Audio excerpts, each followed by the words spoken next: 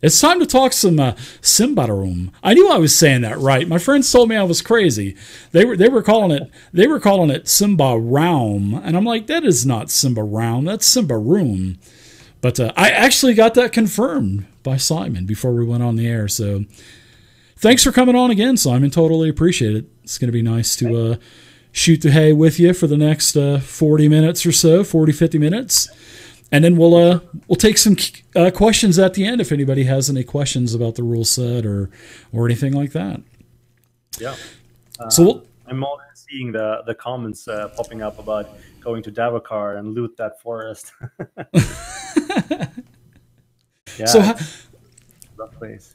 How did you get into how did you get into gaming? You know, uh, you know, what did friends get you into it? Did you just happen to see a, a copy of a an RPG book on a shelf that piqued your interest, or? Uh, the first time I started with RPGs specifically was um, at a friend's place, and we were playing, and they wanted somebody to GM because no, none of them wanted to GM. So uh, my first session, I came in and I hadn't even read the rules, and I was supposed to GM. Oh, that's uh, always fun. Yeah. Thanks. Thanks. Uh, but this was back in, I think it was 91, 92 something. So I was about 10 years old as well. Um, but uh, we ended up spending about 14 hours straight, I think, and we started in the afternoon, so we were done somewhere in the in the in the morning. Uh, and I think about half past two people started falling asleep so it wasn't the the best session of my life so to speak. We always used to torture the people that fell asleep first. We would always like soap their hands up and put their hands in warm water to see if they'd pee their pants and stuff. It was uh, good times. We would we would torture the people that went to sleep. So yeah, your first session was 14 hours huh? Yeah yeah completely unprepared as well. So that was a good thing. Uh, but after that, uh, I started playing as a player uh, a bit because I we had to start taking turns in who wanted to be a GM because uh, uh, nobody wanted to play. So and we played the the Swedish uh, role playing game that I told you about, uh, Drakar Demoner or Dragons and Demons in English, um, probably for three or four years until my character died and I stopped playing. Oh wow. Uh, yeah. Oh, I, I bet that hurt, man. I bet that hurt big time.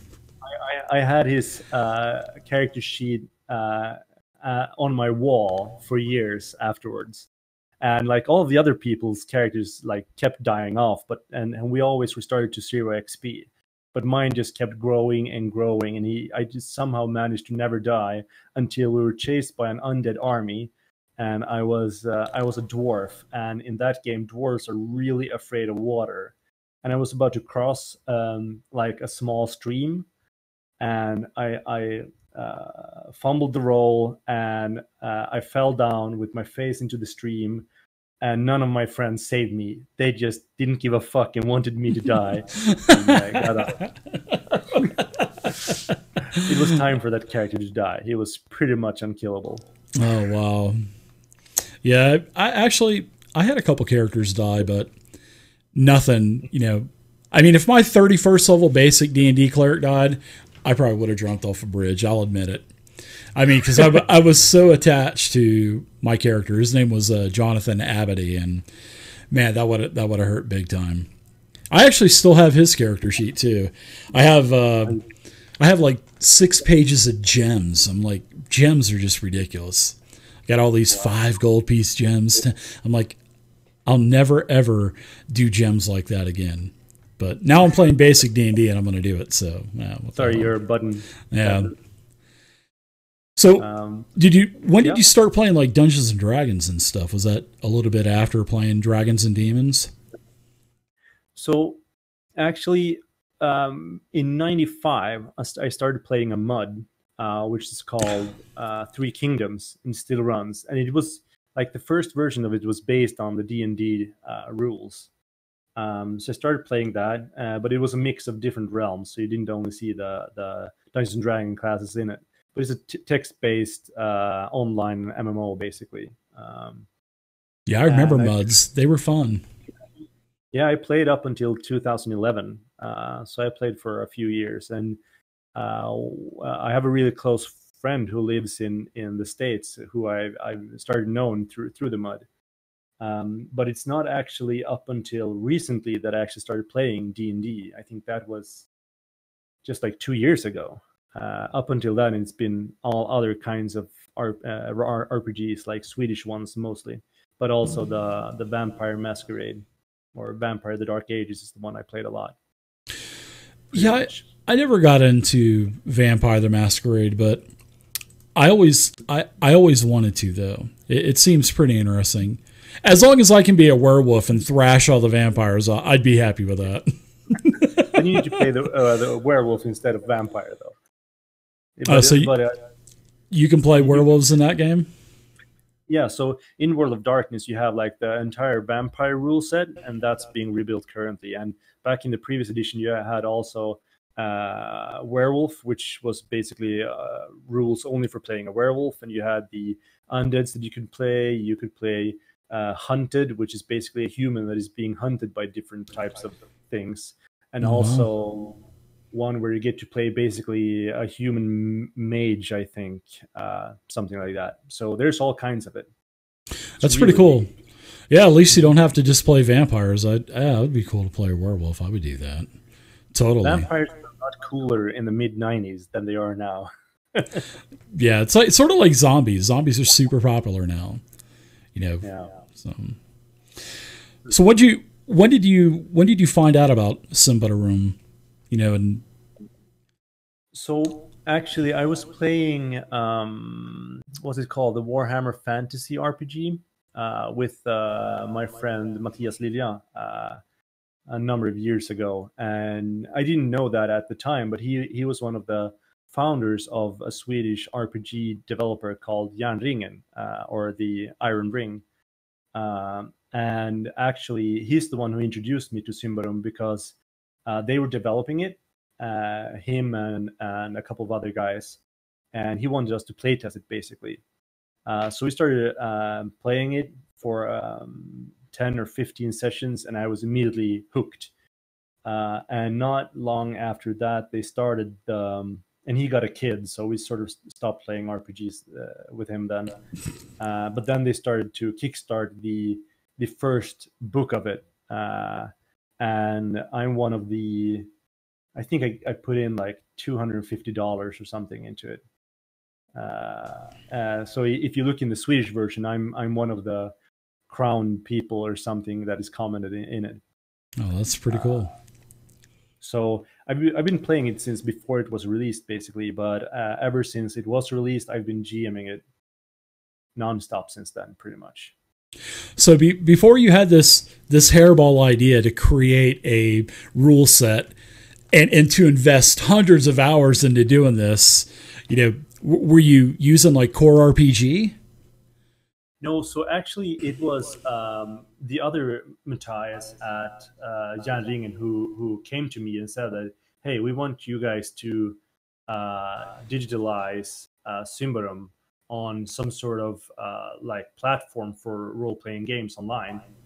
and I was like, oh, that sounds great because um, so I'm, I'm run, running a company called Pixel Diet, and we're uh, we're working in the Swedish games industry. So so I'm a programmer by by work.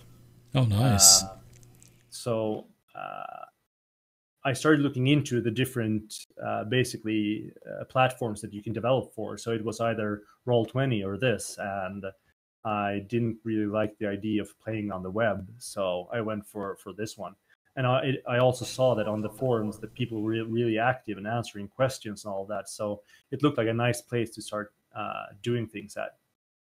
Uh, so I dove straight into it without even having played one adventure with Fantasy Grounds. Oh wow. Yeah, that was going to be my next question was if you had any kind of like programming knowledge or anything like that. Because oh. uh, the person that I had on last week, last week, Brett, he had no programming knowledge, and he just said, "Hey, I'm going to build this, you know, Dungeon Crawl Classic rule set." And he just asked tons of questions on the forums and learned how to program that way. Uh, uh totally amazing. That totally amazing. You can totally do that. And and lua is such a simple language as well so it's really easy to pick up on it. I mean it's it's written to be easily understood so uh, it's a really good pick for for that kind of people uh, for sure. Uh, but i've been i've been programming since i was about 12 so that's 24 years. Wow that's Uh, awesome. so since i was about 16 i've probably spent at least 60 to 70 hours a week so that's 20 years so I, that i've been pretty much devoting a, lo- a large time of my life into programming. Uh, when it comes to um, i've spent probably five or six professional years with lua uh, not exclusively but part of my work time. Uh, so, for example, I worked with uh, Fatshark Games to develop uh, Vermintide, which is one of the games that were done uh, with a big chunk of the gameplay code in Lua. So I've had quite the. I worked a lot with Lua for sure. Well, I'm sure that probably because I, I know a lot of Lua is in Fantasy Ground, so I'm sure that just made everything so much easier for you. So how many how many hours total do you have in the development of the Symbaroum rule set? Rule set? It's hard to say because uh, what I do is that I get up at uh, 4:45 every morning, and I spend about an hour or so working on on the rule set before I go to work. Um, and I've been doing that for about a year now. Oh, nice. So right now, but you know, you know, uh, just the the couple of months leading up to the release, I probably pushed in another five to ten hours a week. So I'm guessing about three or four hundred hours in total, something like that. That's that's pretty good. I mean, how was the how much automation do you think there is in Symbaroum, like percentage wise? Oh, that's really hard to say. Um, there's because of the way that this Symbaroum rule set is set up, you there are things that are really hard to automate. So depending on how you take things like that into consideration, but I would say that uh, when you look at playtime, I would say that probably around 30 40% of the roles and things you do are automated, something like Oh, that. that's good. That's really good, especially for the amount of time. I mean, I've I've talked to a couple people where they have, I mean, almost a thousand hours invested in the rule sets and and to have 300, 400 hours. That's that's impressive, man. Especially to have that automation. Yeah, it's uh, what I've tried to do is that uh, so basically in Symbaroum, all of the rolls are made by the players, and the the dungeon master doesn't roll anything. So what I've uh, done is basically that uh, the players either like drop their damage or their roll onto the NPC or double click for for using it against their targets. So all of that is automated and like armor calculation and all of that. And Oh, so what they do then is that they uh, so when uh, an npc attacks you basically need to roll your defense which you just then double click and then you get like a success rate. And then you can the gm can compare that success rate with the uh, modifier that the the npc has. So an, an npc can have like up to plus or minus eight i think is the most i've seen. Uh, minus uh, plus five minus eight. So it's like never mind. It's backward from D D and D, so it's hard to explain. But uh, It sounds like it sounds something like you know Monte Cook game, Numenera, where all of the players make the rolls pretty much and compare versus defense. Yeah, yeah, exactly. I like So, that. uh, it's pretty good, but there then there's like there's so many spells in uh, and artifacts in Symbaroum, and some of them are so insane. Like this one where you, if you deal the killing blow with uh, the hammer, uh, you can steal uh, like a spell that the enemy has, the last spell they they casted, and then you bind that into the weapon, and then you can cast that, and you can cast it with uh, making sure that one of your stats is 15, which is basically max. Uh, and that's like even implementing that would take like 20 or 30 hours. Yeah, So instead, Ugh. I I've just done so that they the player who does it can just drag that spell onto their character sheet and they get it. I mean that's a lot sim- simpler. So some of those things will probably never get automated, but I'm looking at automating as, as much as possible as we go down. that's what I was going to ask. Is now that the rule sets out, do you plan on developing it more?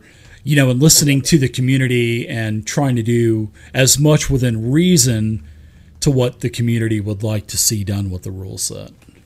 Oh, for sure. So um, we're also looking at releasing more modules for for Symbaroum. Actually, the next one, which is the Copper Crown, uh, is about to be done this weekend. So we're going to submit that to Smiteworks uh, probably early next week or this weekend. Um, and after that, we're going to take the Advanced Players Guidebook, I think it's called in English, uh, which contains like more rules uh, that we will also make sure to implement.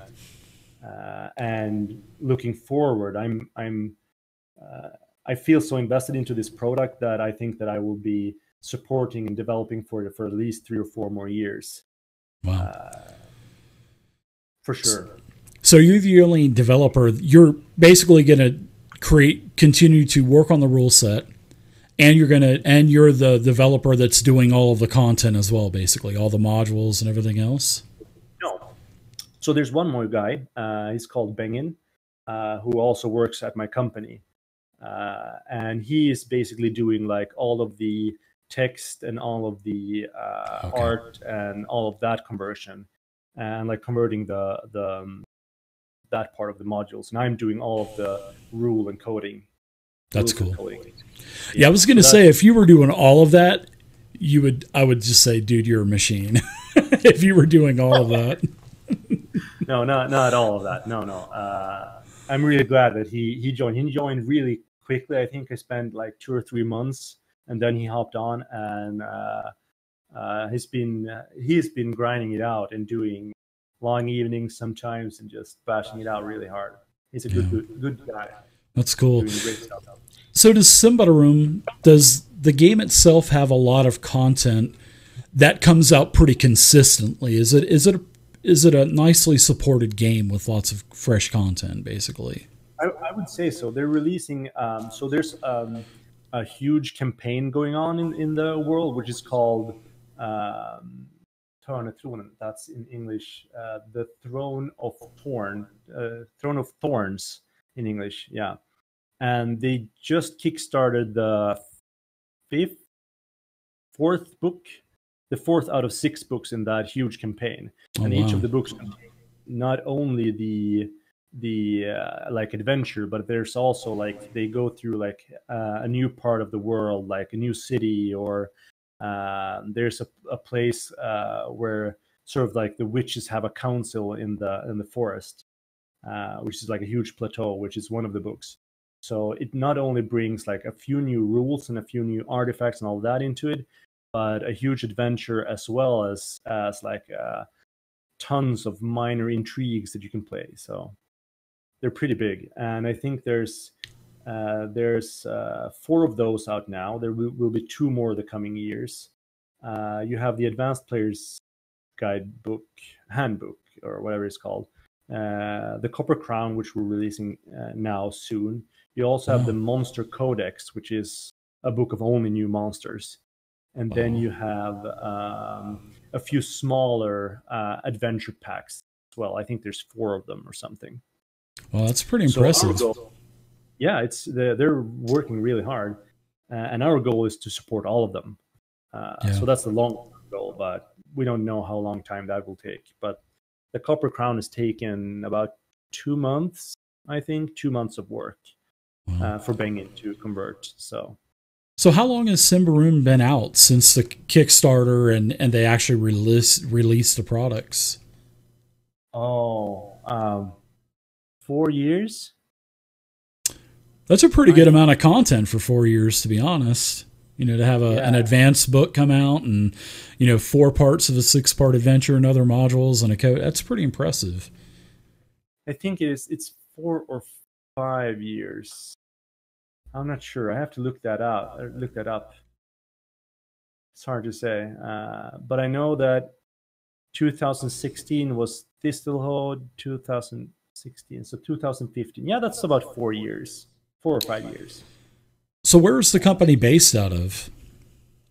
So um, they were recently merged with another company. So uh, they used to be called Järnringen, and they were the company, and I think there were four or five people in it.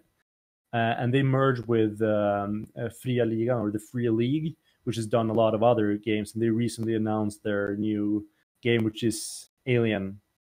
Uh, that IP. Uh, oh, they actually got the Alien IP. Wow. Yeah. Wow. Yeah, you should that. It looks looks really awesome.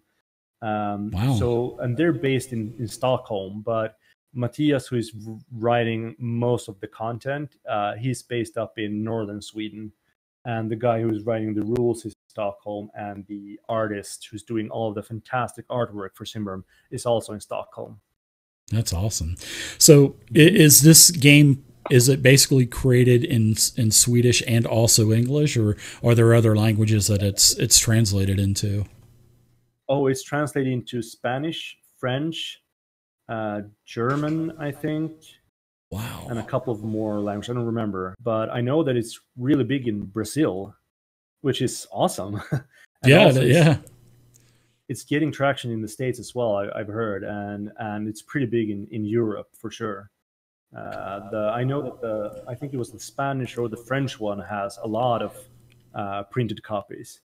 Wow, and this is only with a five five person company. Yeah. Wow, that's impressive. Yeah. But they're not doing the translation, so it's basically people from the community who has uh, read the English version and they said like we want to do this in Spanish and and Matthias and the other people are like sure uh, as long as you can deliver a good product, we're we're all up for it. Uh, oh, that's so good. I think that's one of the ways that they've managed to spread it so much, and and they're really helpful. And like Matthias is always there if you have questions or there's things that you want to like discuss re- regarding how to implement the rule set and all that. They're so helpful. Um, so th- th- that has helped me a lot because there's been some of the I had some issues with how to implement some of the automation, and I've just run it through him a couple of times, and that has helped me so much. Well, that's cool. It's pretty impressive, man. Especially if you got you know folks living in the northern part of Sweden and in Stockholm, and to make that all that come together, that's that's that's really good. That's you know that's another a great thing about Fantasy Grounds too is everybody's in different parts of the country. So we have you know uh-huh. Seattle, there's going to be Nevada pretty soon. I'm in El Paso. There's Florida. I mean, it's it's uh, it's crazy how mm-hmm. you know an online environment can just like bring a company together. It's it's awesome. I, I have to say that that uh, the the community that Fantasy Grounds has is the best I've ever seen. Yeah, uh, I agree. Uh, Damned or Damien, that's on the Discord server he's helped me so much. Without him, uh, the rule set w- would not have been even close to what it is today. He's answered so many questions and helped me out with so many things. He helped out with uh, some of the graphics for for the module as well, and that is just totally unseen anywhere else. Yeah, he yeah, that's what Brett was saying last week. Brett said that. Damien helped him a lot. He said if it wasn't for Damien, he probably wouldn't have learned as much as he did, and probably no. not even happened since he was saying that too. So, mm-hmm. a lot yeah, of people. Oh, I'm sorry. Go ahead. Yeah, no, no. There, there's other people that's been helping as well, especially, uh, especially since the module was released. Uh, there's a, a, thread on the Core RPG uh, forum where people have been uh, sending in bugs and like uh, making sure to like uh, mention the things that they see are troublesome or the, the way they want things to develop and it, it helps me so much because then a lot of the decisions that i'm unsure where to go is just so easy to make all the time. Yeah. Plus it's you know like free qa which is also awesome. There's some people in chat saying that damien is a robot or an automaton and he doesn't sleep. Is. Yeah, there's Celestian too. Celestian made the Advanced Dungeons and Dragons rule set, and mm-hmm. uh, yeah, I think I think uh, he picked uh, Damien's brain as well. So Damien definitely knows his stuff, that's for sure. So oh, yeah. he definitely does. And, and we, when he doesn't know, he knows who to point point people to as well. Yeah, yeah. Like, ask this. He's written that part of the core RPG. He knows all about it. I'm like, oh wow. And I think Celestian is probably one of the people I've talked to. I've talked to plenty of the of the community, and and I don't even remember who anymore because it's been so many. Yeah, that's the one of the first things I noticed about the Fantasy Grounds forums was, I mean, you could be brand new, and twenty people will jump in and you know, hey, you, you need to do this or that or and it's mm-hmm. it it's such a strong community. Because because I you know I read a lot of RPG communities and forums and man some of them are just so bad and you just you don't ever want to go back to them but yeah, not here man no, it's it's it's a top notch community and a lot of people say that too you know I'm just not saying it because I work for Fantasy Grounds but I always said that before I even became an employee with the company so yeah yeah it was awesome it's impressive for sure so, what kind of games do you got going on now, Simon? What what kind of games are you playing? Are you running any? Um, so I'm running one uh, Symbaroum campaign. I used to run another one, but that's been sort of on pause because we were trying out um, uh, the Genesys rule set with um, Realms of Terrinoth. Uh, but that's gone so so. So we're not playing uh, that much at the moment. But then I'm running this Symbaroum group, which has been going on for about a year. Yeah, a year, maybe more. Uh, yeah, probably a bit more. Uh, and we're just moving into the first book of the campaign. Um, and uh, we're probably going to keep playing for a few years, it looks like. So it's a really good group. Um, and other than that, I have some few one offs that I do every year uh, with some friends, which is mostly Symbaroum um, but also I, am a player in a D&D group with uh, a very good friend of, of mine who's an awesome GM, and we're we're playing the um, uh, the one I told you about. You're playing the Annihilation campaign, right? Yeah, Tomb of Annihilation, yeah. and we're we've just uh, reached Omu, and it's it's brilliant. We're having so Omu, yeah, yeah. That's it. Yeah. I like we were talking before the stream I love the open world part of that. You know, the traveling, the hex traveling. I mean, it yeah, reminds me so much of basic D and D and X One. You know, the Isle of Dread with all the dinosaurs. I mean, uh, that was so fun to do. Isn't it actually the Isle of Dread that they've like modernized and taken into this one?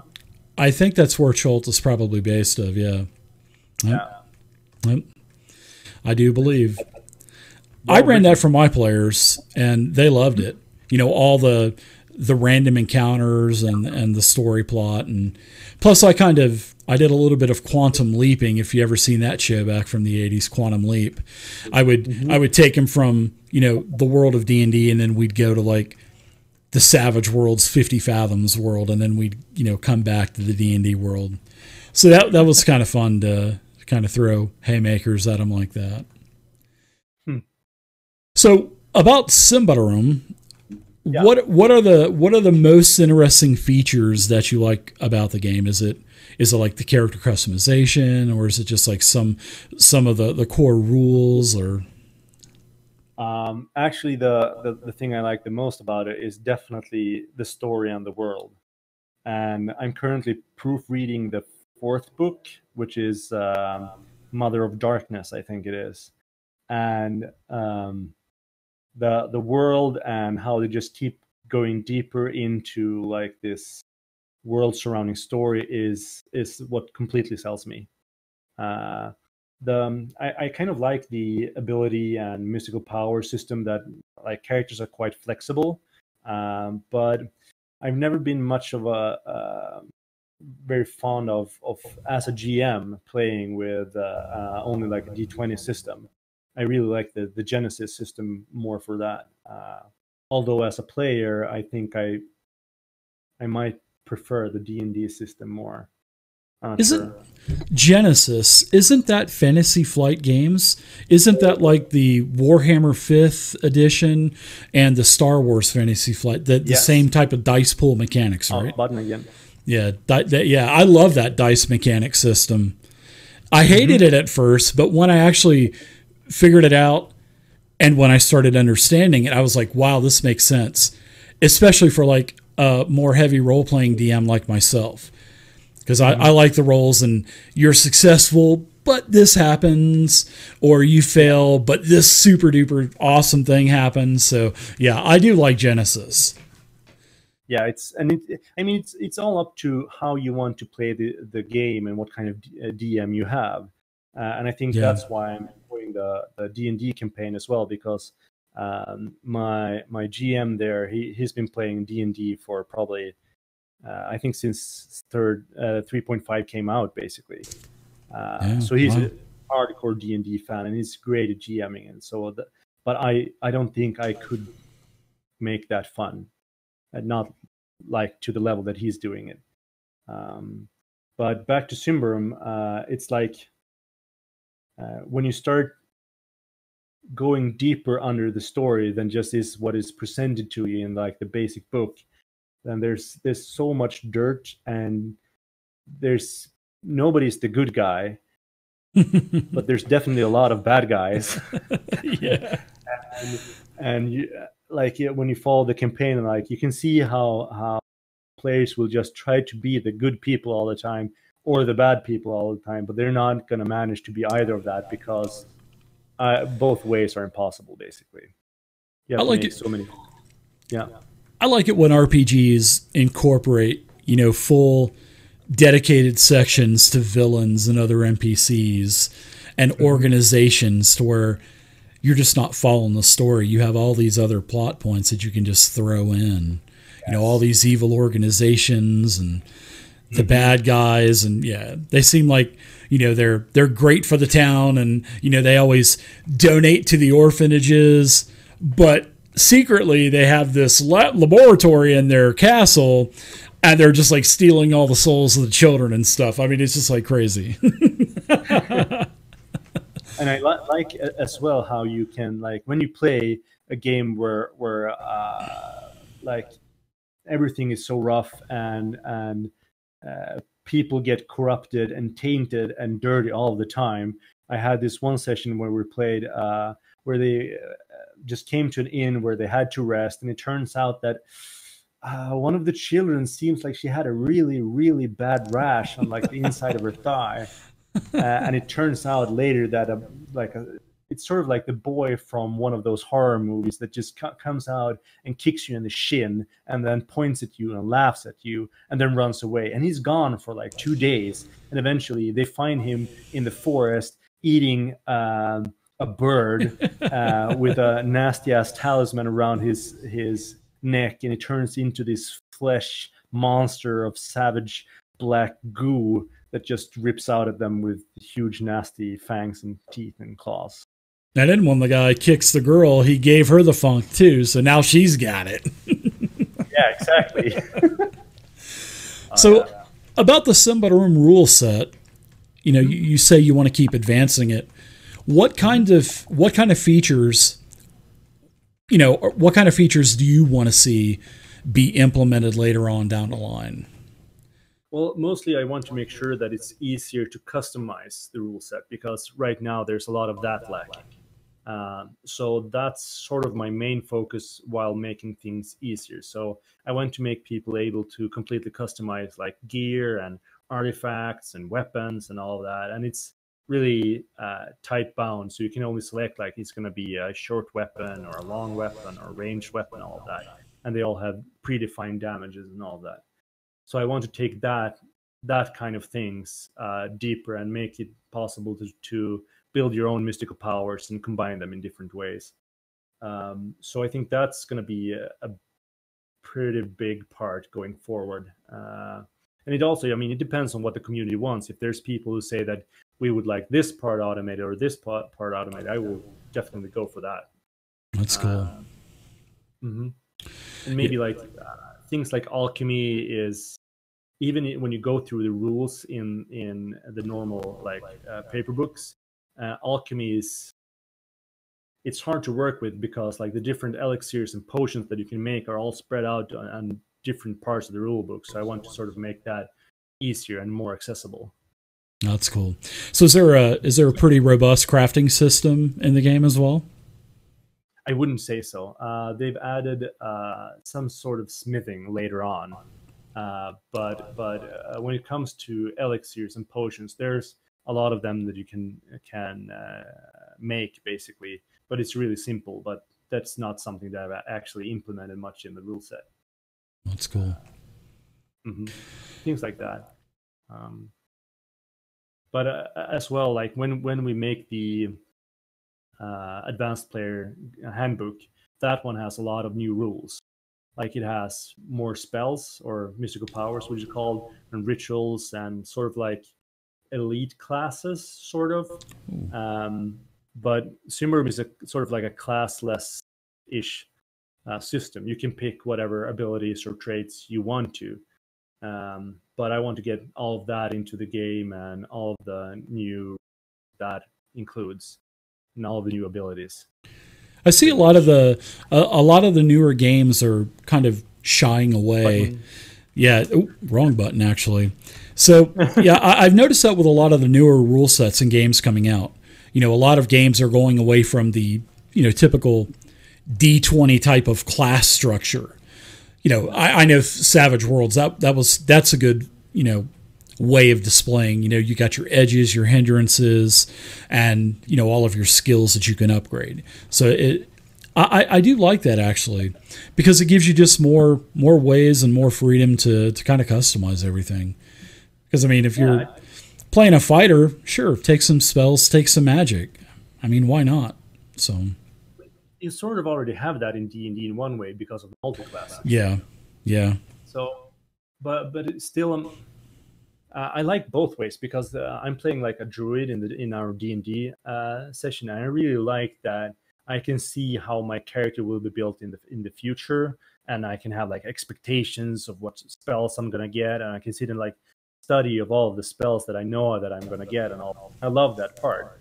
And at the same time, when you're playing like a classless system, you get to sit and spend time on determining what uh, abilities or traits or whatever you're getting. Uh, like in the Genesys system, when you get your, um, it's called something else, but it's basically uh, an ability. So are there prerequisites? So you have to have this before you can take this ability or something like that. Yeah, that's good. I like that.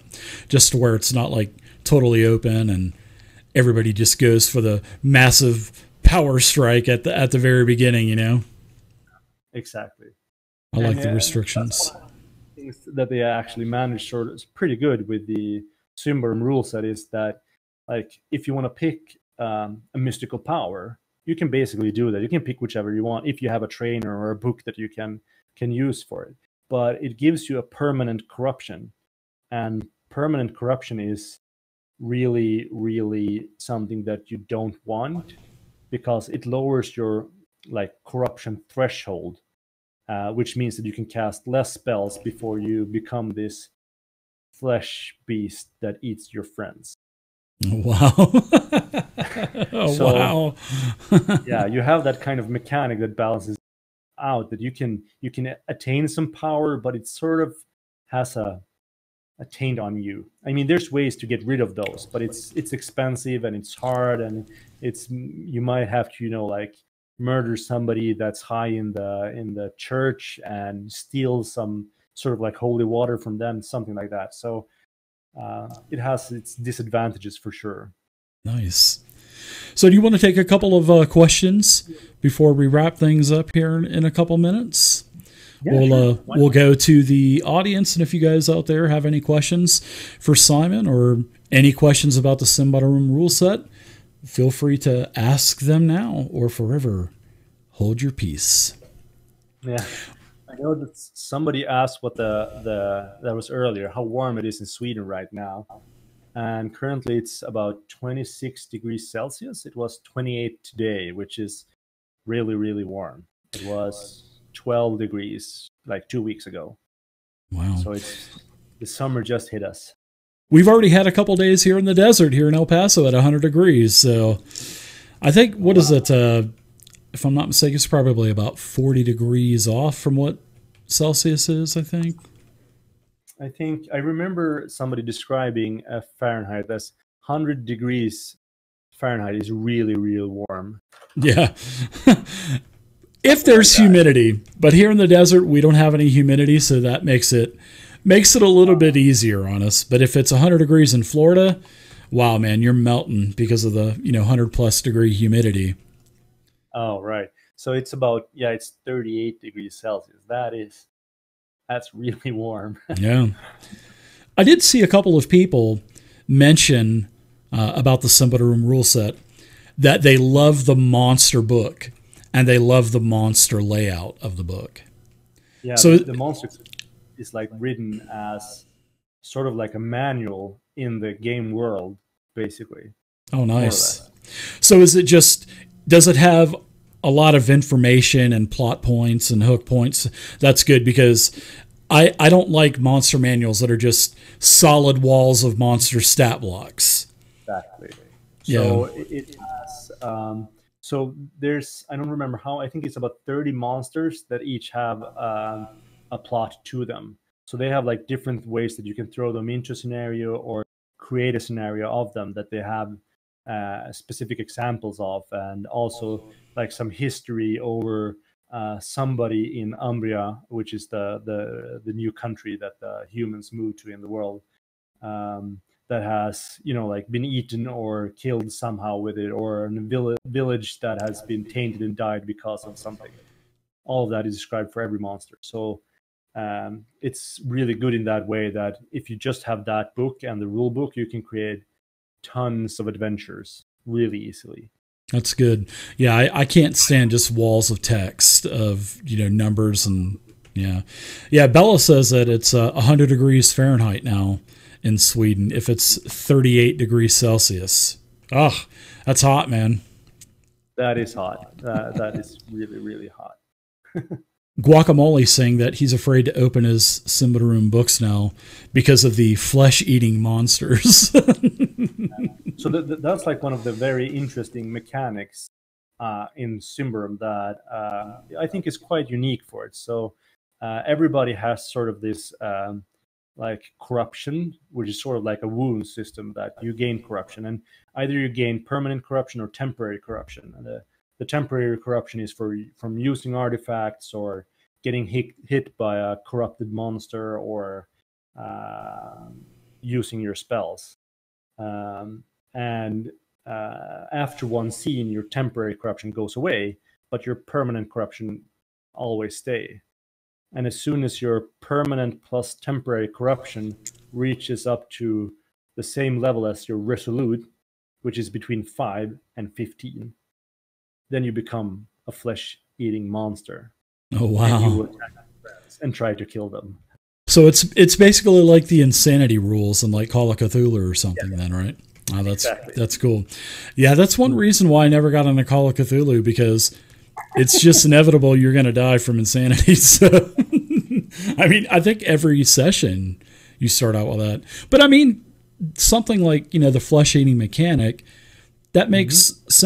a unique game that most games won't even touch any kind of mechanic like that. So, as long as there's ways to like temper it and stuff, I, I love stuff like that. And, you know, the, a good thing is like the monster codex is a really good example here because in that one there is a monster who doesn't uh, give you corruption it takes away your permanent corruption but when it does that it becomes stronger. Oh of course have... there's something bad that goes along with that right? Yeah. So i've thrown one of those into uh, it was like one of the first adventures for the the current group i'm playing with that I threw that in for them, and it was like weakened because it had been in a jail for you know like four or five hundred years and starved. So it was like a really light version of it uh, that picked away some of their early corruption, and they they could escape from it, but they actually managed to kill it because I'd given them a tool to do it, and they figured it out and did it, which was very funny. Um, but uh, there, and the thing about the corruption is that it it permeates the entire world like all the story, everything, everything is associated with it, and I think that's that's the thing that I really enjoy about uh, the Symbaroum, um, because the the forest, the deeper you go into the forest, the more corrupted it becomes, and the more tainted and awful things you will see coming at you. That's good. Which is, yeah, and all, there's tons of ruins inside of it that also either are like corrupted areas or they have uh, tainted artifacts so that you gain some power from them, but you can't use them too much because then you then you eat your friends. and you know, plus that keeps your players on your toes as well. So it, yeah. it always makes them think, well, do we want to go here or do we want to go deeper in the forest or, or what? Yeah, that's good. So, do you have anything else going on that you want to talk about? Any other top secret Fantasy Grounds rule sets being developed or anything like that? Or just oh, sticking with Symbaroum? only Symbaroum right now. Uh, I might be looking into more rule sets in the future. Uh, with uh, Fria Ligan. Um, we haven't uh, we have discussed that we might do it in the future. We haven't discussed which one or when we're supposed to begin or whatever. Uh, but I know that's definitely a possibility. Uh, so it depends on how much time I get and how fast we convert all the content to this one. Uh, that's cool. But given the amount of knowledge that I have now with uh, Fantasy Grounds, like converting something that is an easier rule set than Symbaroum. Like if you look at the the different ones, the mutant, for example, that Fria Ligan has, it will take a lot less time than this one did. So we always always have that to consider as well. Kabengen said he's your biggest fan. He or she. Oh, is that your fan? Is that your friend? Right. That, that's the guy I'm doing it with. It's, yeah. It's, uh, he, works within uh, quality assurance, so it's QA for quality assurance, and uh, Bengen is his name. That's cool. Just fan, yeah, right. well, all right. I'm not going to keep you anymore. You know, it's getting late over there in Sweden. So, you know, it was really nice talking to you, Simon. It was really nice meeting you. And I enjoy these. I love just talking with other gamers, you know, and hearing yeah. about you know what they play and what they like, and it's great. I really appreciate you coming on. It was uh, nice. Thanks for having me on. This was this was awesome, and I'd love to do it uh, more sometime in the future when we have more of Symbaroum and maybe another rule set going on. That's cool. Well, we'll definitely have you back on. So I'm going to let you go and thank you to everybody for hanging out for another Fantasy Grounds Fridays. Happy gaming, everybody. I hope you guys uh, roll a lot of 20s or roll a bunch of aces if you're playing Savage Worlds and have a great weekend of gaming and we'll see you again next Friday. I'll be I'll be doing something next Friday, so I'll see you guys at 12 p.m. Eastern Standard Time. And once again, my name is David, and this is Simon with the Symbaroum rule set. And uh, thanks for watching, and happy gaming, and see you next Friday. Bye, everybody. Bye.